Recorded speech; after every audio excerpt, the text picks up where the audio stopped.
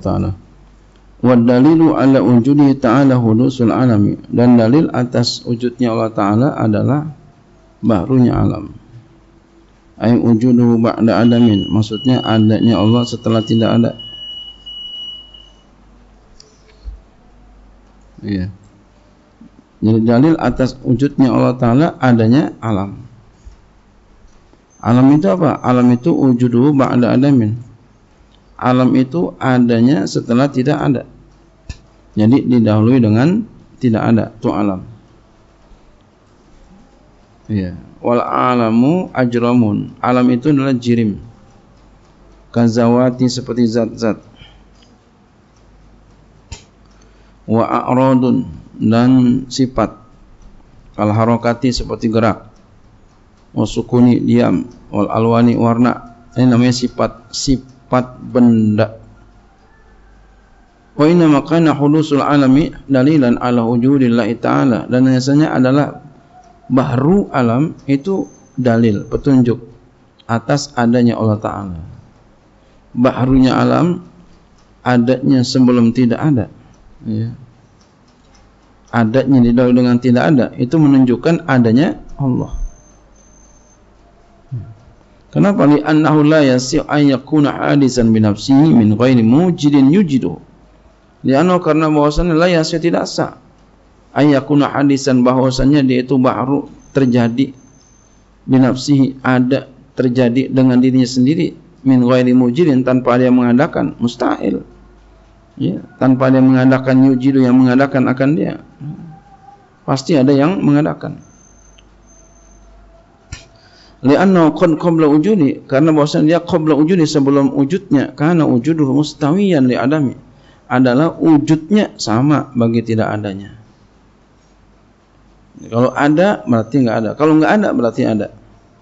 Falamma wajada wa zala adamuhu alimna anna wujudahu turajjahu ala adami.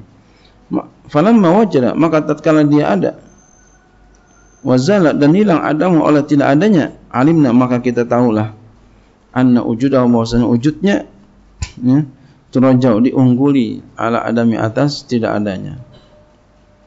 Ya tadi kalau ada berarti ya enggak adanya hilang. Kalau enggak ada berarti adanya hilang. Waqad kana hadzal ujur musawiyan dan sungguh adalah ini wujud sama lil adami bagi tidak ada. Fala yasyu maka tidak sa'in yakuna bahwa ada ia turajau diungguli ala adam binafsi atas tidak ada dengan diri sendiri. Enggak mungkin. Manusia mati enggak mungkin mati dengan sendirinya. Pasti ada yang matiin. Siapa? Allah. Sebagaimana hidupnya. Enggak mungkin hidup sendiri. Pasti ada yang menghidupkan yaitu Allah. Fata'ayyana maka nyatalah anna oleh bahwasannya lahu baginya murajjian. Ya baginya ada yang mengungguli nyatalah bahwa baginya ada yang mengungguli ghairahu selain dia Siapa? Wa huwa allazi aujadahu. Dia itulah yang mengadakan ia akan dia. Allah Subhanahu wa taala. Lianna tarajju'a aadil amrayn al-mutasawiyain min ghairi murajja'in muhalun. Karena bahwa terungguli satu di antara dua perkara yang sama dari tanpa yang dari tanpa ada yang mengunggulin itu mustahil. Enggak mungkin terjadi. Masalah umpamanya Zaidun qabla wujudi sebelum adanya. Zaid sebelum adanya ya justru boleh ayu jada bahwa dia dia diadakan. Sebelum ada boleh bahwa dia diadakan. Fi sanati kadza di tahun anu di tahun ini di tahun itu. Ya. Wa in justru dan boleh juga ayya bakal kekal ia ala adami atas tidak adanya boleh saja enggak ada terus boleh aja Allah pengen adain boleh, Allah enggak pengen adain boleh. Enggak mungkin dia ada sendiri. Fa wujudu maka adanya musawiyan di adamihi sama bagi tidak adanya. Wajada wa zala adamu fi zamanin alladhi wajada fihi alimna anna wujudahu bimujidin la min, min nafsihi. Falamma maka tatkala wajada dia ada wazala dan hilang. Adamu oleh tidak adanya iya karena ada. Jadi ketika ada tidak adanya hilang. Sama kebalikannya ketika enggak ada adanya hilang. Fi zamanil ladzi wajada bi pada zaman yang ada ia padanya. Alimna maka kita tahu anna wujudahu bahwasanya wujudnya mimujidin adanya itu dengan ada yang mengadakan. La binafsihi tidak dengan ada dirinya sendiri. Ya tidak daripada dirinya sendiri. Enggak. Kayak kita nih kita enggak ada diri ada dengan diri sendiri. Enggak. Ada yang mengadain. Siapa? Oh melalui perantara siapa? Ibu kita bapak kita. Dua sperma ketemu. Lalu bertelur. Ya terus berproses jadilah jadilah begini-begini tuh oh, iya, iya. Ya. iya ada yang hitam ada yang putih ada yang cakep ada yang ya begitu dah semua ya ngomong jelek nggak enak ya